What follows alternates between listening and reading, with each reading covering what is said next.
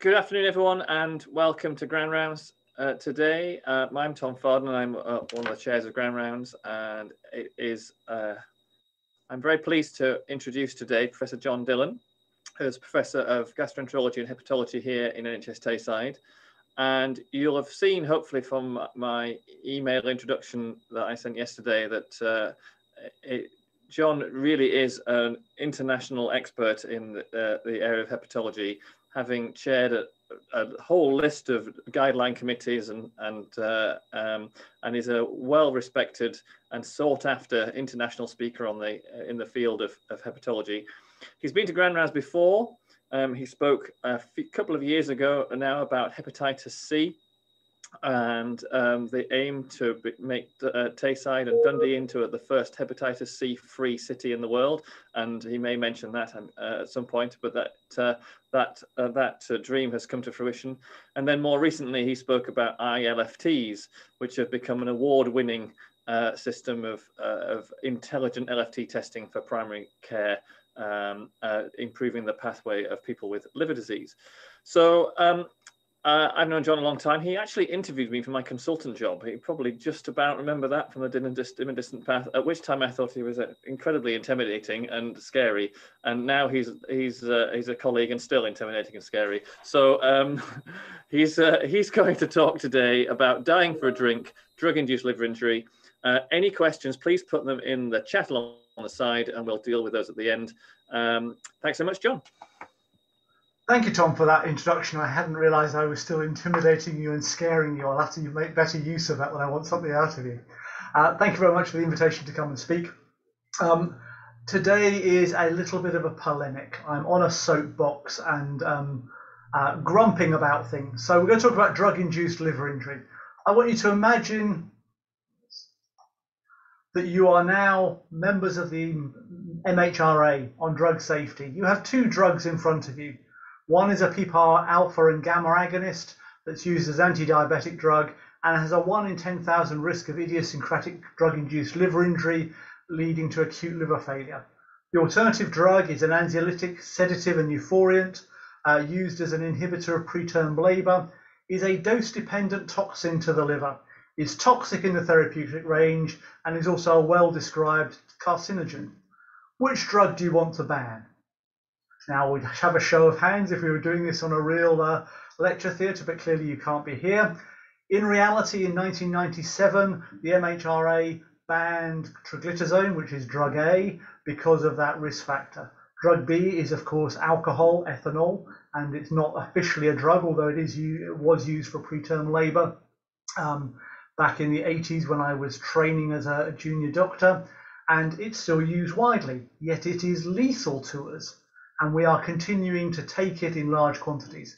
So today I want to talk to you about um, minimum unit pricing and how Scotland is leading the world around that. I want to talk to you about safe drinking levels and whether there are such things. And at the end, I want to touch on changes in liver disease, particularly alcohol-related liver disease and its treatment. So those three things, and it's a bit of a sort of a leap and a jump through all of those topics. So let's look at male-related alcohol deaths by age group in England.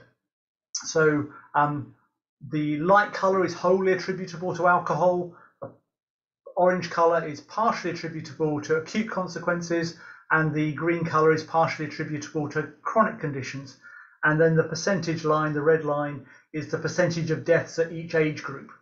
So you can see um, at the percentage, the numbers of deaths in each age group on the left-hand side of the graph. So in the 45 to 64 year old groups, you're seeing over 2,000 deaths per year from those things, and that accounts for about 15% of all deaths in that age group.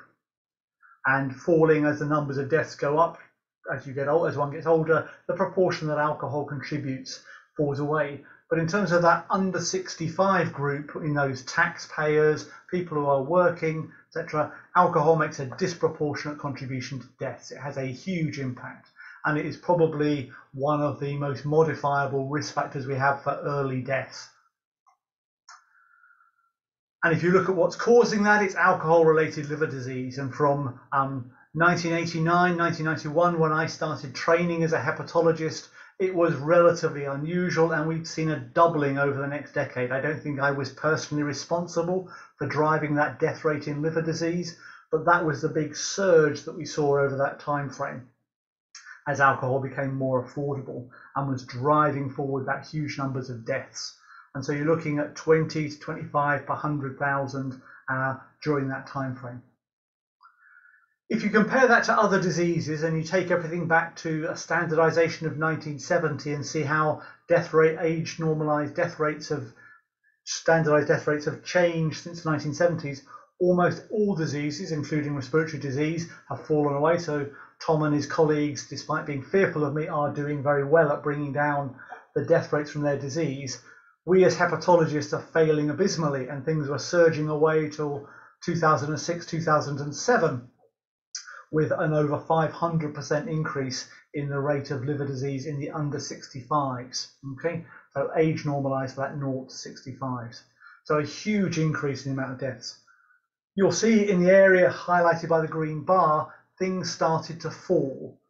And that was at the same time as the, as the great economic crash, where relative earnings went down and the cost of everything went up slightly, including alcohol. And it brought the rate of increase and rate of deaths down. So there's a relationship between death rate and the cost of alcohol. And many of you will be aware of these newspaper headlines. This one from um, 2006, just before the crash, where our booze is cheaper than water. So a can of Tennent's would cost you 37 pence at that time, and uh, a bottle, a plastic bottle of water, would cost you 59 pence. And so it really was uh, cheaper than water. And if you look at the relative costs between 1997 and 2006, Tennent's Lager relatively was £1.36 in 1976 and was 37 pence in 2006. Uh, and a bottle of uh, vodka was nearly 30 pounds and had fallen in relative value to just under 12 pounds. And so alcohol had become much, much more affordable by that 2006 timeframe. And what else had happened? You know, where was the alcohol being moved from, and there was a shift of distribution. So in 1994, 51% of our, the alcohol drunk in Scotland was consumed in a bar, and 49% was bought in the off trade. By 2016, that's changed dramatically, with only 27% of um, alcohol being bought in a bar and 73% now being bought for consumption at home in the off sales. And that's probably to do with price, as those of you who have recently drunk in a pub will know the relative price of alcohol from an affordability point of view has stayed much the same and the prices have increased with everything else. Whereas um, in supermarkets up to 2016, the price had fallen dramatically. And if you look at clinic patients, people who have liver disease and are attending hospital or clinics, 88% of them will buy their alcohol in off sales and only 12% of them are drinking in bars and of the heaviest 25% of drinkers that are seen in clinic, it's a 97-3% split. So it shows how cost sensitive those people who are drinking most heavily are. And so cost is a big determinant of how much you drink. And certainly, um, if you want to know where the cheapest alcohol is in Tayside, come to Ward 2 and chat to one or two of my patients, and they'll be able to tell you. If you look at per capita consumption, uh, this is litres of alcohol per head since 2000, uh, since 1900s through to 2010. You can see that there was a very high level in the early Victorian Edwardian age, which fell sharply in 2014 due to the introduction of licensing laws and duty on alcohol went up dramatically, all part of keeping people um, at work. And so pubs shut in the afternoon for the first time and that allowed people to get back to work after their drinking. And you can see that consumption has changed over time as beer drinking has fallen slightly, cider drinking has become more popular, wine drinking has increased substantially, and spirits have also um, increased. And these uh, ready to drink cocktail type fruit drinks have made a substantial, these uh, Alco Pops have made a substantial increase in recent levels. But if you think of that, that's 9 to 10 litres of alcohol per head that doesn't really bring it home, does it? If you think of it in a Scottish perspective, Scotland is drinking about um, 11 litres of alcohol per head. We're doing more than England and Wales. That's equivalent to 43 bottles of spirit per person for every person in Scotland per year. And it's estimated that 10% of the alcohol consumed in Scotland, no duty is paid on. It's uh, imported from duty free or other sources from Europe or is brewed illegally in Scotland. So there's no duty paid on it or brewed legally for personal consumption. And if you then add to the idea that most people are going to spend two, two weeks of the year out of the country on a sunny holiday somewhere in those days before COVID, that brings you up to 50 odd bottles per year. Add into that that about 15% of the Scottish population drink virtually nothing, then we are consuming a huge amount of alcohol. And I assume that the people in this audience are not drinking in excess of a bottle of vodka a week, and therefore someone is drinking your vodka and it brings home quite how much is being consumed. Coming back to that idea between cost and um, consumption. So if you look at the blue line, this is the amount of, of the, the percentage that alcohol duty contributes to total tax. So you can see back in 1981, it was about uh, 90, the early 1980s, it went up to just over 4% of the total tax burden was retrieved from alcohol and this has fallen substantially over time with one or two little excursions from different. So it's making much less of a contribution. And as that relative affordability has come down because duties come down, we've seen deaths going up in proportion. And in terms of the costs to that, the grey bars on this graph show you that it's about 9 billion pounds a year we are now losing in that lost tax because of the reduction in alcohol duty. And so we're having the increased health burdens of alcohol related liver disease and this fall in uh, tax revenue as well to pay for it. So if you think about the public health policy here, there are two competing views of it. You've got the industry paradigm, which view alcohol as normal, and problems arise when a minority of people misuse it, i.e., it's somebody else's fault and they spoil it for the rest of us and therefore the solution is to change the behavior of the minority who have a problem and let the rest of us get on with it. The public health approach is alcohol is not an ordinary product. It's addictive, it is pervasive throughout our society, and the problem is not with the individual but with the product and its impact on society. Therefore, the solution is to make the environment less pro alcohol, to move away from this idea that all of our social interactions have to occur around alcohol, and reduce the population consumption. And the maximum health gain is gained through that shifting of the consumption curve to the left and making it everyone's problem rather than focusing on a small number of people who are having excessive problems. And that's the dilemma and the public health policy argument that has gone on in Scotland for the last two decades. It's not a new problem. I take you back to the general election of 1922.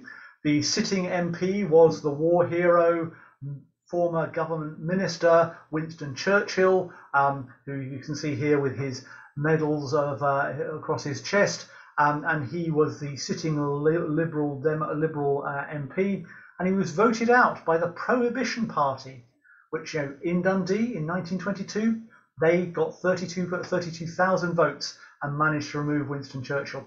Not sure what happened to Winston Churchill after that, after Dundee rejected him. But it shows that the issue with alcohol has been one that's gone on for years. And I take you even further back to the um, code of Hammurabi, who was a king of ancient Babylon, and in 1700 BC wrote the laws of uh, Babylon down on this stone. And law 108 was if a, a tavern keeper takes money and the price of the drink is less than that of the corn used to make it, she shall be convicted and thrown into the water. So even in ancient Babylon, they realized the importance of price for alcohol and fair dealings and the concept of minimum unit pricing. So the idea behind minimum unit pricing is that by raising the price of the cheapest alcohols available, you will reduce consumption by those most at risk of the consequences of excessive alcohol. And in 19 in um, 2012, after work done by Sheffield University, 50%, 50 pence per unit was advocated as the optimum pro, optimum minimum unit price to bring it forward.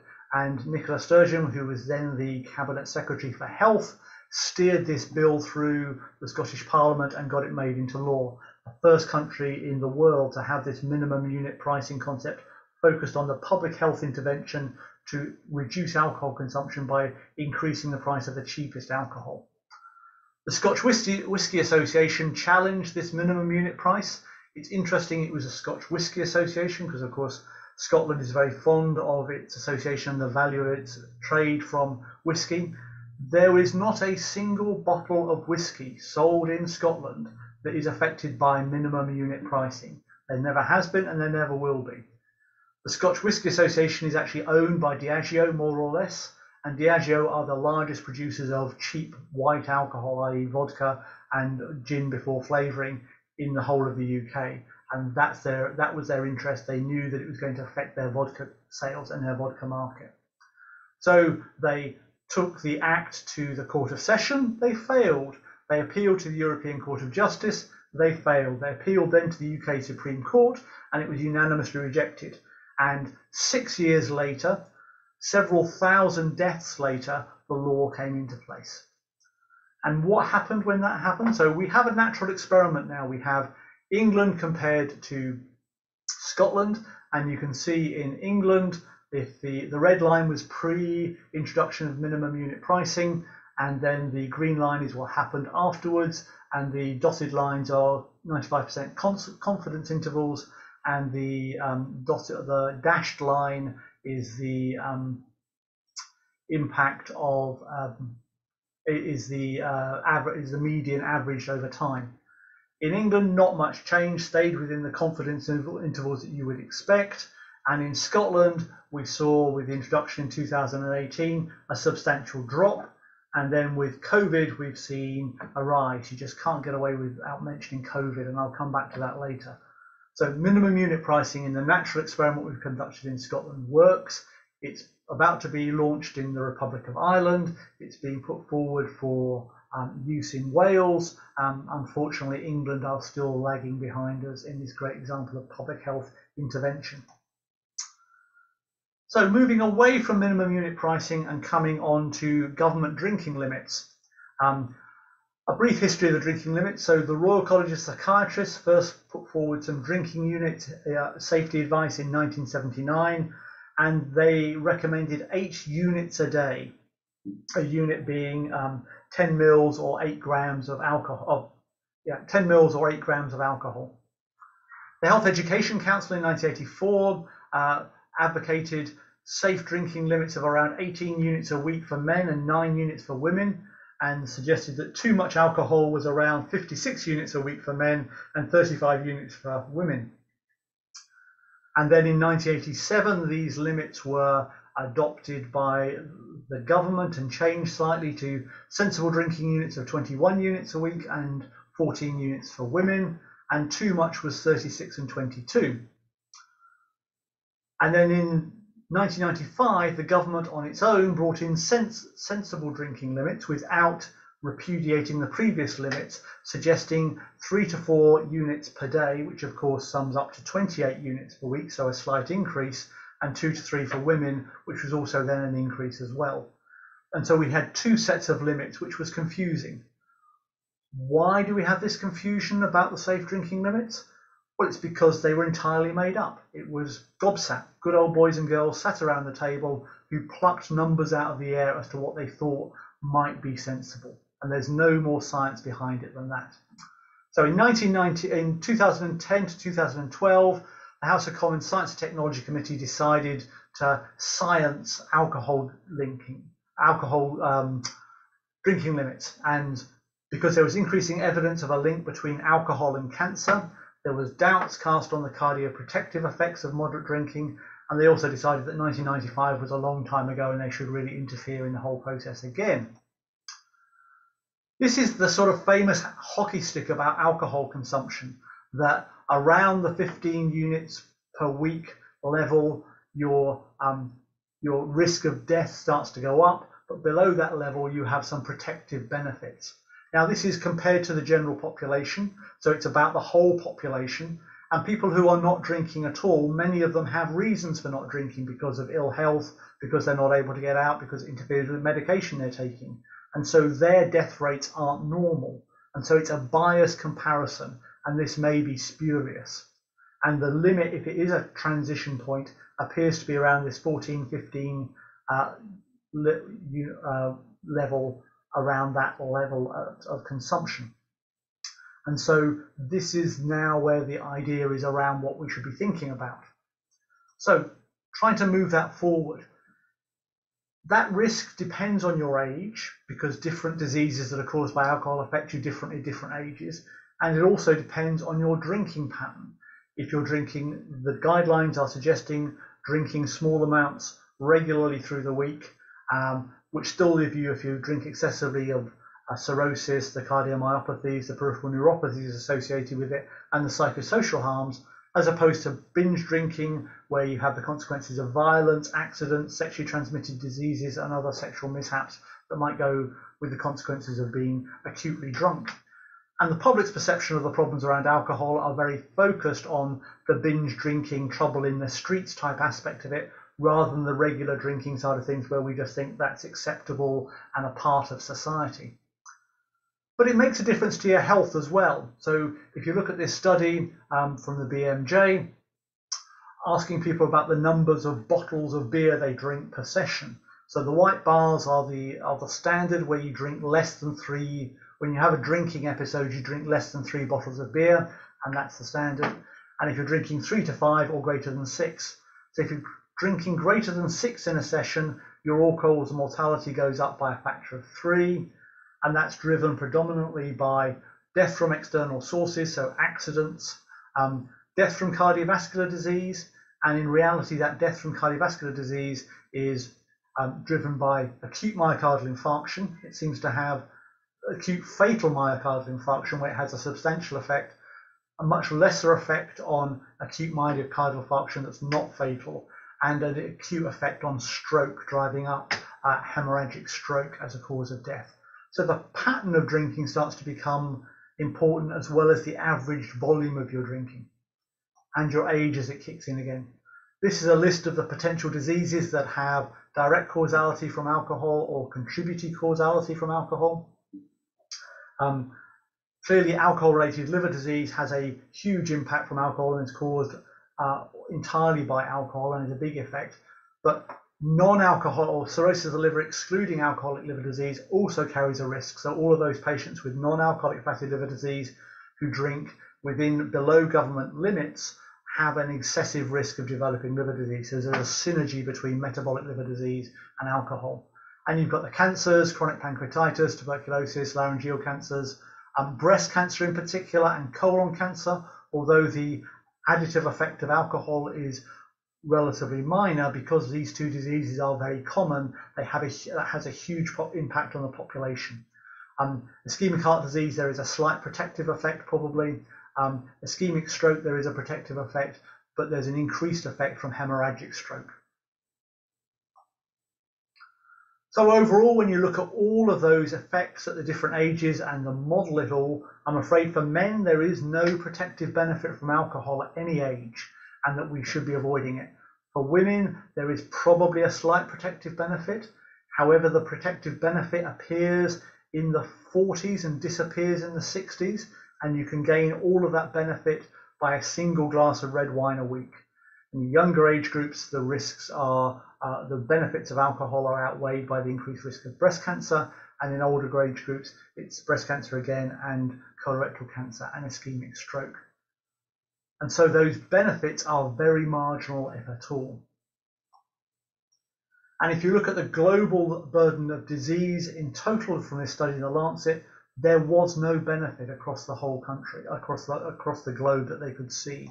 Look at the next graph, it was in terms of standard daily drinks, if you looked at the way of that working on a daily basis, there is no benefit. And that's one drink, so you have to be drinking less than one drink a day to have any benefit from alcohol. So it really is a very, very minimal benefit and probably only for women and only in that tight age group. So the story about there being some benefit from alcohol is dead in the water. So what did the government do with this exercise? So they launched the um, guidelines, and have you seen anything else about them? No, other than the publicity around them, nothing else has happened. They've set the guidelines at 15 units, uh, less than 15 units a, a week, and that's the level at which your mortality from alcohol crosses the 1% level. Below 50, i.e., 14 and lower, you have less than a 1% chance of dying as a consequence of an alcohol caused disease. And if it's 15 and above, you have more than a 1% chance of dying of an alcohol related disease. And the more you drink and the more you binge, the greater that risk, depending on the different causes of death. But the government has walked away from trying to publicise that message any further, partly because of pressure from the Portman Group and the Scotch Whisky Association and other groupings. Let's start to turn now towards um, uh, liver disease itself and the different causes of liver disease. Now, the um, we have a Glasgow coma score, we have a Glasgow alcoholic scale and uh, alcoholic hepatitis scale, and we also have the Glasgow alcohol scale. So the, uh, this was done on two occasions and came up with slightly different names for it, but rather like the Eskimos, who I'm told have 20 names for snow because they see so much of it. And we appear in Glasgow and Scotland to have well over 20 names for the various states of alcohol intoxication. And it's interesting that the final one on the list and the most extreme level of alcohol intoxication is appropriately called mortal. And indeed, if you drink that much, you really are mortal. So in many ways, the hepatologist being a lonely sort of character, trying to protect the liver from the dousing in alcohol that all achieves. When I started going to hepatology in the 1980s, um, I've now been a consultant hepatologist here for 25 years and training in hepatology for over 30 years. I could name every hepatologist in the United Kingdom. Now I probably can't name every hepatologist in Scotland because there are now so many of us and that's because of that 500% increase in the liver disease that we're seeing during my career, which has been caused in part by increased diagnosis, but the vast majority of it has alcohol-related liver disease and latterly some metabolic associated associated fatty liver disease. If you, if I could take you back to the liver wards of the late 1980s and early 1990s, we had a 50% 30-day mortality for variceal hemorrhage we had a 50% 30 day mortality for alcoholic hepatitis, the two commonest problems that we saw coming into liver disease, into our wards. We had, for those with the complications of chronic liver disease like encephalopathy and uh, ascites, they had much better 30 day survival as we'd get most of those patients out of hospital. They'd be back in in the not too distant future, and most of them wouldn't survive two years. So it was a grim business. In that time, we've changed those mortality rates to today where your chances of dying of a variceal hemorrhage alone in hospital are virtually zero. Your overall mortality from variceal hemorrhage, including death from liver failure afterwards, in 30 days is now down to 16%. Your chances of death from alcoholic hepatitis are down to the same order of magnitude, between 10 and 16%, depending on severity. So we've made huge strides in reducing those death rates, and I'd like to talk about some of the things that have helped that happen. The NCEPOD investigation into alcohol-related liver disease um, in 2013 was truly shocking readings. Only 45% of patients who died received good care. Avoidable deaths were being identified within this uh, inquiry, and it recommended the introduction of a toolkit for patients admitted with alcohol related liver disease. If you looked at the survey in detail, if you were admitted to hospital with an alcohol related liver disease and were seen by somebody within the first 24 hours of admission in that hospital who said, who self identified as having an interest in liver disease, it halved your mortality in that hospital compared to a hospital without someone who had that interest. So there is a huge benefit in terms of that early intervention. And there are still in many hospitals across the United Kingdom and many in Scotland that don't have anyone who puts up their hand and says, I have an interest in liver disease, despite the frequency with which it's admitted to hospital. So the British Society of Gastroenterology and the British Association for the Study of the Liver developed the decompensated cirrhosis care bundle the first 24 hours. Uh, Jackie Patterson, when she was a registrar here, uh, introduced this onto our acute medical admissions unit, and Jackie clearly, as uh, in that role, continues to be very supportive of this. So it's a simple two-page sheet that requires filling in on admission and guides people through what needs to be done and fixed during the first 24 hours. This works well, it's very widely used. Audits uh, of the follow up show that it's extensively used and works very well. There are a few things I just want to go through and pick on. I think it's a, the idea of the concept around alcohol related liver disease. Most people with alcohol related liver disease will get simple steatosis and never get anything more. It's only about 20% of people who drink excessively that will go on and develop um, cirrhosis of the liver and scarring. So the majority of the population will stay at steatosis and most of those won't get admitted to hospital.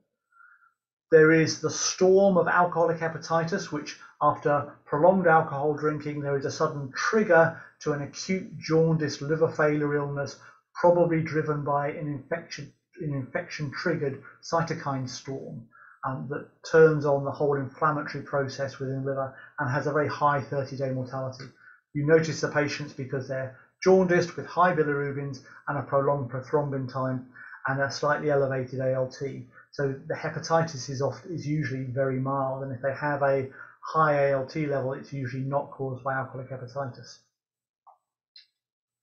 Associated with malaise, nausea, hepatomegaly, fever, appearance of jaundice driven by sepsis, encephalopathies and ascites are common, and renal failure is a uh, serious complication of this syndrome and often leads to death.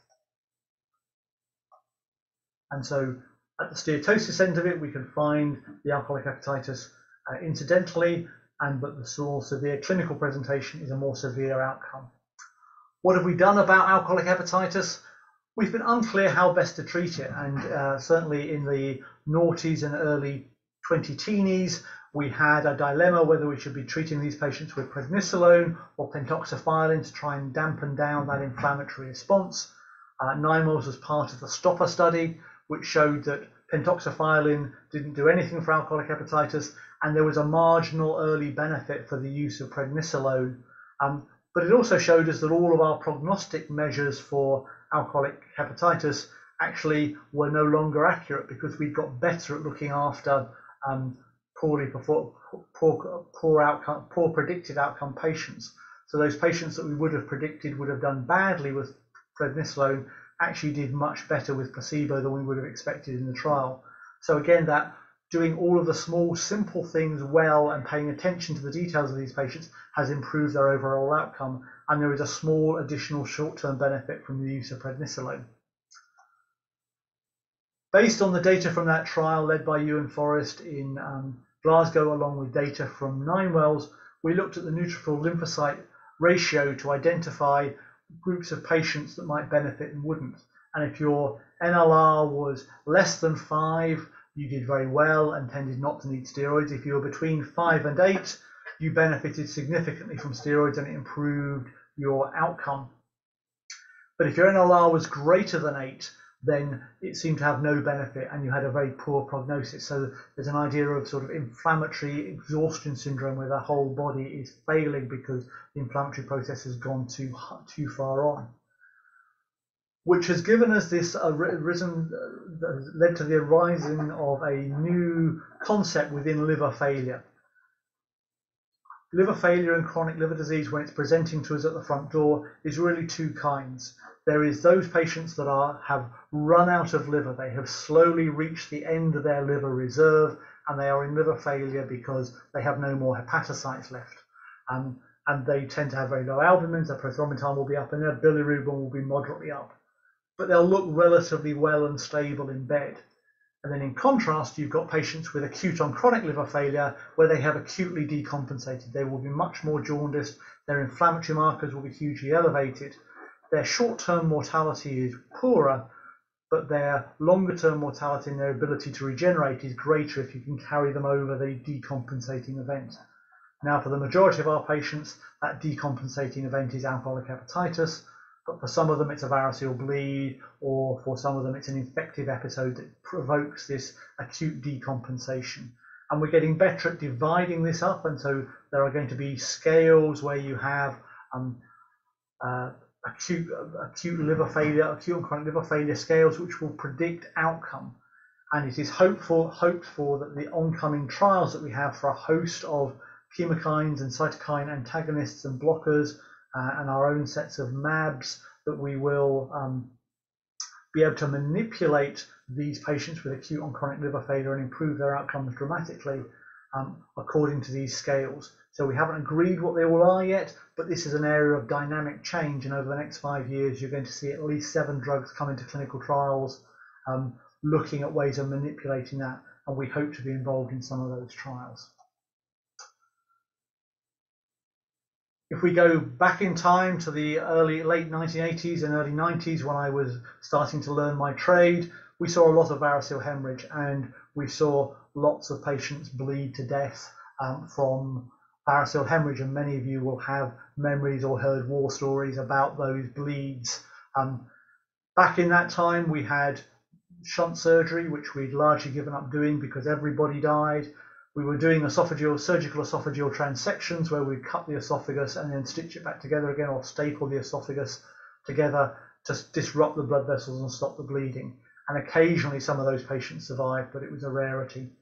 And in the late 1980s, early 90s, we uh, introduced endoscopic sclerosant, where we started in, injecting sclerosant into the varices, and that stopped bleeding in 85 90% of the cases, which was a great step forward.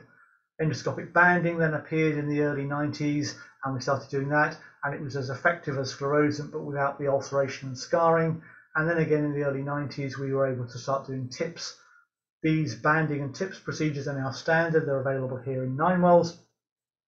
And it's moved us to the point where back in the 80s and 90s, it would be not uncommon for people to bleed to death and that's now an extremely rare mode of death. So the, the days when people pebble dash walls and you see people's shadows on the wall from where people have bled on them um, have now stopped, thankfully.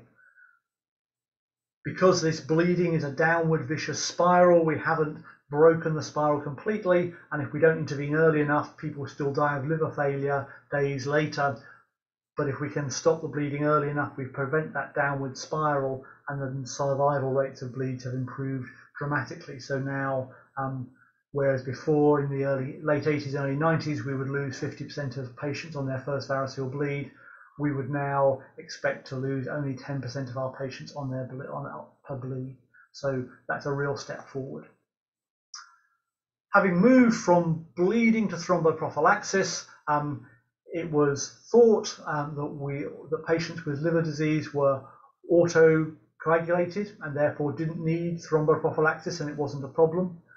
We then had data from a multi-regional audit of blood component use, which discovered that 3% of patients who were um, transfused and needed blood components for their bleeding died of thrombotic events.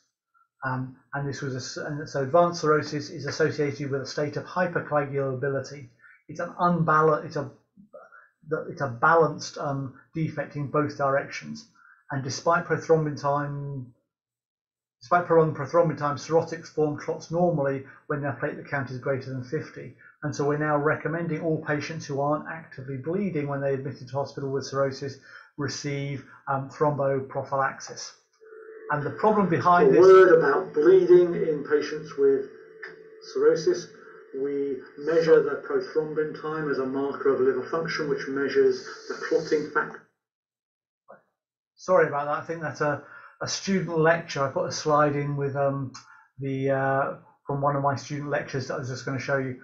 Basically, what I was going to say was that the if you think we measure the procoagulant um, factors from the liver that cause us to clot, and that's the prothrombin time that prolongs. But the liver also makes protein C, protein S, and antithrombin 3, which are the anti-clotting factors. And the defect is balanced, and so both of them are reduced. And so most people don't um, clot or clot normally, provided they're not pushed in the seesaw either way. And so, but so while it is easy to bleed, it's also easily to clot. So you move backwards and forwards. So patients who have recently bled are equally prone to suddenly clotting. Finally, um, coming towards COVID, um, this is data from England from 2020 um, that's just been published and you can see we're all aware of the surge in alcohol consumption during the lockdowns. Uh, the online alcohol providers had massive increase in sales, and we are already in the first three quarters of uh, 2020 uh, seeing the data that in the 40 to 69 year olds we're seeing excessive deaths, um, you know, an increase of 10 per 100,000 compared to what we'd expect from previous years because of increased alcohol consumption. And we know that this is a delayed effect, and so if we're seeing it already at this stage in the 2020 data, we will see even bigger range rises in the late 2020 data and into 2021 and potentially into 2022 as we see those deaths rise. So um, COVID lockdown liver is unfortunately a real syndrome that we've seen here all too frequently in Ninewells, and we're seeing it at the national level uh, in UK data. So finally, alcohol use is legal and firmly embedded in our society, and I have to accept it will remain so. The cardiovascular benefits, if real, are seen at very, very low consumption levels and probably only, only have benefit for middle-aged drinkers and probably only women. The health and other harms are major societal issues and are not confined to those who obviously misuse alcohol and are obviously addicted to it. It spreads much more widely across the apparently acceptable cultural norms for drinking at the moment. There is an effect that is disproportionate of those of lower socioeconomic status, and we need to explore why, on apparently similar consumption levels, they seem to pick up much more harm and how inequalities are playing into that. While the relationship between population consumption and harm are not perfect, the maximum health improvements will be seen through shifting the whole consumption of alcohol rate downwards Individuals may choose to live with the different levels of risk associated with their pattern and volume of consumption, but we must provide them with good information on those risks, and we have to get better at putting out those government guidelines and publicising them much more aggressively. And within those who choose to drink at higher levels, some of them are not choosing. Some of them have a disease and are addicted, and we need to identify those people and offer them treatment so they are able to make a free choice around what they do in those things. Thank you for listening, and I'm happy to take questions. John, thanks very much. I thought it was uh, interesting that the only person who dare interrupt you in your talk is yourself. um, so, um, in the um, interesting parallels really between drink and smoking. You know, that's obviously the thing that uh, for us chest physicians, you know, uh, we ask so frequently, uh, you know, do you smoke? Oh, not really. I, am a social smoker. What the hell does that mean? You know, uh, if you, a social smoker is a smoker, and there's there's clearly no safe number of cigarettes to smoke in a day, a week, or a year. Um, everyone is is damaging, and it's it's. Um, I have to admit I've had the J-shaped curve in my head for a long time, and it's good to show such robust data that that's nonsense, and and and that actually that that that doesn't stand up to scrutiny. Um, does anyone have any questions? I had a question in the um, in the uh, in the chat. Go for it, Tom. On, there's papers which appear in really quite senior journal, journals which suggest that. Well, the conclusion was if you're a 50 year old man, you've had a heart attack, and you don't drink, you should start because the cardioprotective effects of alcohol. Now, you know, even you suggest that observational data show that that uh, drinking reduces uh, cardiovascular events. Is it not time we do a randomized trial of post-MI patients, allowing them to continue to drink moderately or reduce their alcohol to see if it actually makes a difference? Because all the data you showed was observational. So I think such a trial would be difficult to organise, as you can appreciate, Tom, in terms of getting people to to stick to their alcohol level. Not really. Not, not if you sent them the alcohol, you get everyone to sign up. You've then got to stop them buying it in the shop and all the other. You do that, but largely you would reduce half of their alcohol down and you keep the other half normal.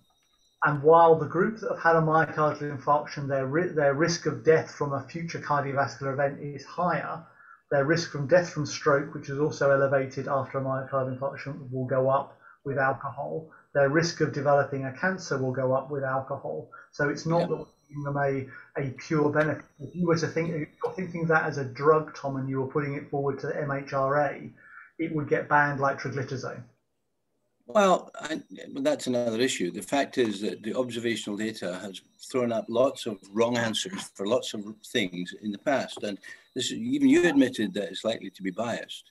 And we do need data beyond all reasonable doubt. And the only way to clarify that is do a randomized trial of alcohol reduction. And that would be perfectly ethical. There are lots of little cans of mixed drinks in Tesco's. You could easily double blind to do that. And I think that you would, you could do a trial and we should do a trial. We probably owe it to society to do a trial. I think we, yeah. So I think there are. It's not. You know, if we, you're, if you're treating this as a drug, which I accept. You know, I'm, I'm accepting that we could treat this as a drug. It's such a dirty drug, and so and have so many other consequences for these patients. I mean, while we are picking a very high risk group, and so you could, the benefit would be greatest in this group because of that. It's the other the other downsides of drinking alcohol. I think over, you know, we're showing overall there is no survival benefit. So if you improve, if you reduce their death rate from um, myocardial infarction, over and above all of the other medications that you're already putting the patient on. Um, is there is there good evidence that there is an additive benefit of alcohol on top of that from the observational data? If there was, mm-hmm. then I think that would be the um, you know in an optimally treated uh, post myocardial infarction survivor, is there an additional benefit from alcohol on top? If we could, we should we should test the hypothesis you can test that hypothesis from observational data if you see an effect. You can. You go and do the randomized controlled trial. You can't do it from observational. It's always biased. You need to randomize. Anyway, you're obviously not convinced, but I think that's what we ought to do. Uh, we'll go on to um, Mudder. Hi, John. Long time no see. Um, thank you kindly. That was a fascinating talk. Took me back, took me back to those uh, uh, 20 years ago when I was your house officer, and uh, it's really fascinating how things have moved on. Um, I get my question. I, I, always I remember you you telling me this, and I, I really struggled with some of the patients when they had decompensated liver disease, and on top of everything else that you mentioned, but when they were profoundly hypotensive. And I remember that I often struggled to sort of try and apply basic pathophysiology by using vasopressors, getting central line monitoring, etc. And you said to me, Mudder, hepatic pathophysiology isn't in textbooks that you can rely on. Um, I'm just wondering what's changed in the sense of we do often we do sometimes. I mean, I'm, I'm not getting them, of course, frequently because I'm based in Perth at the moment. Um, but there are when they're hypotensive in that setting and they're for level two, level three care. What what do you suggest you sort of approach um, for them? Thanks. So in, in that situ- so in that situation, the main thing that's driving their hypertension is the vasodilatation of the splanchnic circulation. So their ability to auto-regulate that circulation is lost, and so they are they think they've eaten a massive steak dinner with huge amounts of chips, and so they are, their gut blood flow is huge. And so trying to selectively shut down the gut blood flow is one thing. Making sure they're adequately filled in the first instance with because they often have low albumin, so their intravascular space will be depleted. So filling that optimally with colloid, um, preferably alba, and then constricting them with vasopressin or terlipressin, um, which there are more vasopressin, arginine vasopressin receptors within the gut circulation than in other gut other circulations, and so stimulating that will have a pr more profound vasoconstrictive effect on the gut, and you effectively auto transfuse the rest of the circulation, and that's probably the best first stage backing that up with noradrenaline, etc., is a, a, second stage. But by the time you get to that stage, you're on a pretty sticky wicket. Yeah. Sort of trying to bridge into transplant, you have to start to review where you're going to yeah. go. So yeah, I get... stage approach. Yeah. Okay, so it's, it's, it's much the same. Fill them up, vasopressin, and then once they get to the adrenaline, that you, you you're sort of stuck and needing to escalate. Yeah, so that's good. Thanks. Yeah, and patient sepsis is the major driving thing. Will have uh, more of a response to noradrenaline. John, but perhaps just pushing on for that, I'll take uh, Chair's privilege to butt in here. Um, quite a lot of um, therapeutic nihilism about people with ALD and intensive care, level three. Um, um, what's your, I mean, we, we, talk sometimes about it's their first presentation, so they'll do pretty well. Some of my ICU colleagues and my experience in critical care is that they don't tend, it's, it's hard to predict who's going to do well. What's your just general thoughts about ICU for people with with ALD? So I think um, so that you know, it's it's what's caused the decompensation and how fixable that is. And so if this is an acute on chronic liver failure, while their short-term mortality is high, um, by optimizing their care, you'll improve their outcome. Their outcomes are still going to be amongst the worst for ICU for ICUs in general. So you know, it's uh, it's that they are the sickest patients ICUs are going to have to deal with. If they're end-stage liver disease, then they will do less well. If they, they if they have completely run out and don't have the regenerative capacity, they will do less well. The more organ failures they have, the less well they will do. Um, and so, and so it's it's balancing those factors, and so the Clifford score, etc., will give us some better ideas about what we're doing. I think we are getting a better understanding of the inflammatory pathophysiology that's going on here, and we will have tools to manipulate it more. I think from coming back to this idea of their first time, if we can get them to survive their first 30 days and they stop drinking, their long-term survival is excellent. And that's the point. I think if the, if they are if they've had multiple shoutings at, by my, my, myself and my colleagues from the end of the bed to stop drinking, and they've had interaction with our colleagues in addiction psychiatry, and they are still drinking, then their pro- long-term prognosis is very poor. And if they decompensate, so the first time idea is that they haven't had most people haven't had that interaction with alcohol addiction services or advice to stop. Most of the people we see presenting for that first time have been heavy social drinkers with a degree of dependency, but they haven't had the opportunity, they haven't had the chance to be told to stop. So that first time thing is that point if you can get them over their initial mortality, but their initial mortality is high, much better than it was, and we know that by optimizing their care, we give them the best chance. But it's a, a two-way conversation, and clearly, if they have alter, other multiple morbidities, then it becomes um, less likely that we're going to get a, a survival advantage in the, the, discussion with ICU. And so I think that we are, it needs to be a discussion on an individual case basis. Um, Kevin has asked a follow-up question to that, um, which is what sort of services and or uptake by patients happens through alcohol-related issues and alcohol services? So is there a good uptake? What's the success rate of, um, or is it, um, is it just shouting at a wall?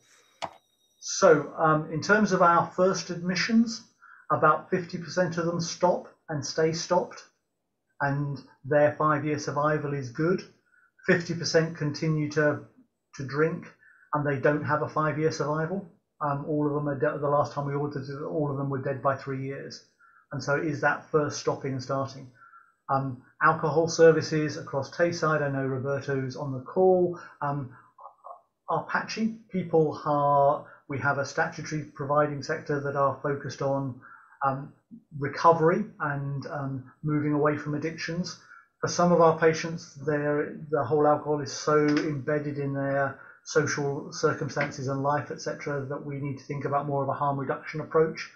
We're putting together a project to try and look at a more integrated care package going afterwards, copying what's happening in England uh, with the alcohol care team. So at the moment, you've got a choice. You, you you have the physical out liver care team and you have the alcohol care team, and the patient can choose between the two. And the idea is to wrap those two teams into one the patient can't get away from the physical team because they keep coming back to hospital if they don't play ball with the physical team to solve their acute problems. And if the addictions addictions approach is embedded in that in a single worker, then the patient doesn't gets both, and that's what we need to have. And we need to have better integration between those two services.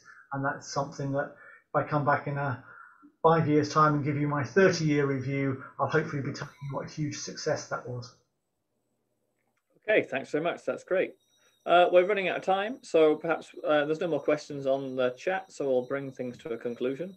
Uh, thanks so much, John. Fantastic talk. Really, uh, really uh, cutting edge stuff. You know, state of the nation. Really, really enjoyed that, and uh, I think we'll get a lot out of that.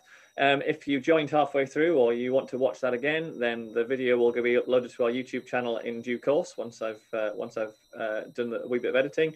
Um, you can watch all of our previous Grand Rounds on the same YouTube channel. Remember to like and subscribe, and uh, you can see Grand Rounds back to 2015.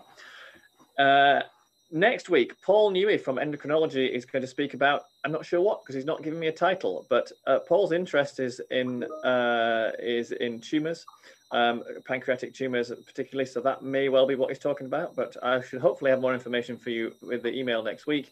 Um, uh, so thanks so much for joining. Uh, thanks again to John, and I'll see you again next week. Thanks very much.